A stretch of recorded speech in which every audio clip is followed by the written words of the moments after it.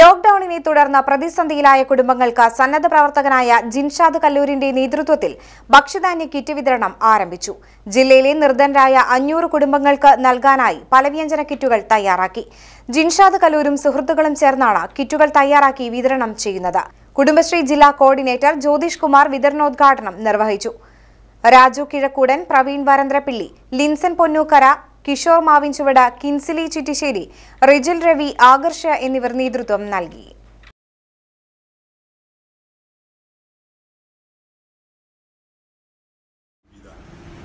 അതുപോലെ തന്നെ അധികാര വികേന്ദ്രീകരണവുമായി ബന്ധപ്പെടുത്തി കേരളത്തിലെ ശക്തമാക്കപ്പെട്ട പഞ്ചായത്ത് രാജ് സംവിധാനം. ഇതൊക്കെ തന്നെ ഈ ഒരു ചെറുത്തുനിൽപ്പിന് വലിയ സംഭാവന നൽകിയ ഘടകങ്ങളാണ്. അതോടൊപ്പം തന്നെ കേരളത്തിന്റെ യുവജനങ്ങൾ തീർച്ചയായിട്ടും ഏതൊരു പ്രതിസന്ധി ഘട്ടത്തിലും കേരളത്തിന് ഒരു കൈത്താങ്ങായി. കേരളത്തിന്റെ ശക്തിയായിട്ട് മാറാൻ